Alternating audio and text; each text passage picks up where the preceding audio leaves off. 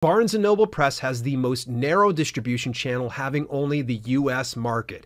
For ebooks, it's really wide, but for print, not so much. But if your readership is in the US, this might not even be an issue. The royalty is middle of the road compared to the other options at 55% minus print fees. It's about 5% less than KDP, right about the same as IngramSpark, and about 5% more than Lulu, though that doesn't account for the 80-20 split on Lulu's 50% royalty, so Barnes & Noble Press has an advantage over Lulu. Fun fact, you can reach Barnes & Noble through all the previously mentioned avenues, but those distributors will take a cut of your earnings.